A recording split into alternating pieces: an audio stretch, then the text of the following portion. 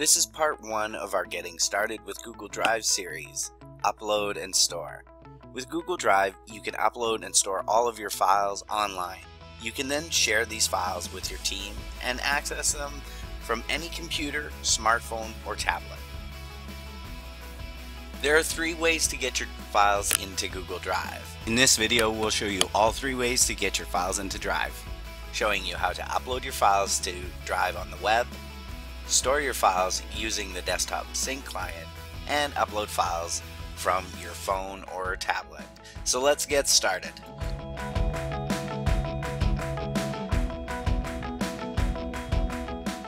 One way to store files in Google Drive is to upload a copy of them using your web browser. To do this, go to drive.google.com. Click New and select File Upload or Folder Upload.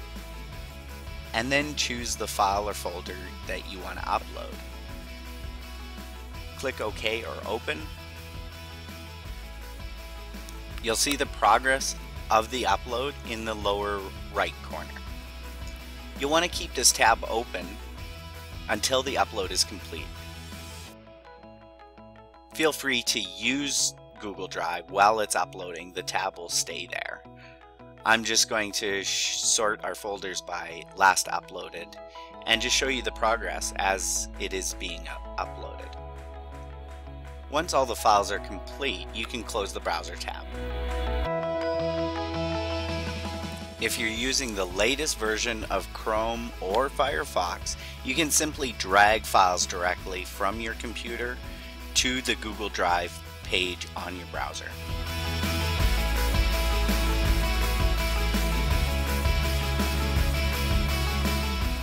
If you upload a file that matches the name of an existing file, Drive will add it as a new version instead of creating a duplicate.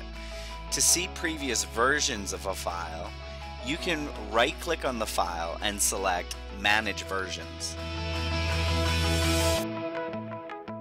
From here, you can then select the file menu and either delete the version or restore it.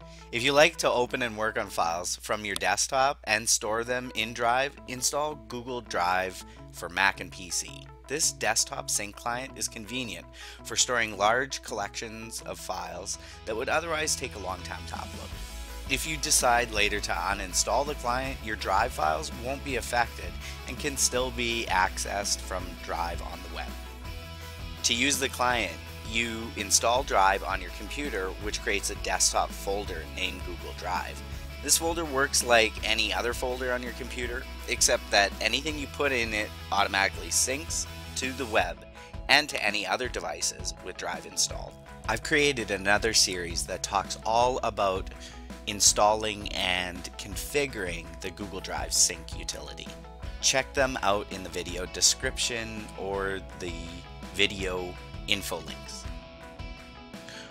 Once you've installed Drive on your computer, you can store files right from your desktop.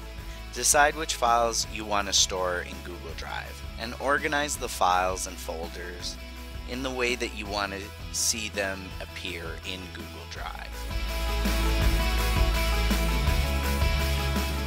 Move the files and folders into Drive folder on your computer.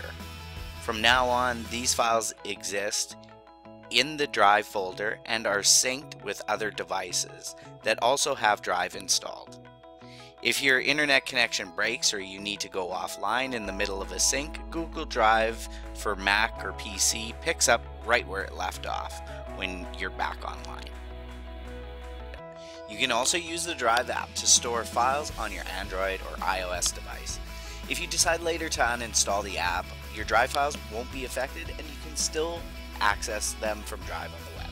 I'll quickly show you where to install the Google Drive app if you don't already have it on your mobile device.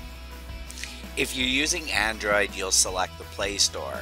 If you're using iOS device, you'd look for the App Store and search for Google Drive. You're looking for the Drive app that's developed by Google LLC. Here I'm in my downloads folder. Uh, you can be in any other app but you can select any of your files and choose the share button. From here, you'll tap Save to Google Drive.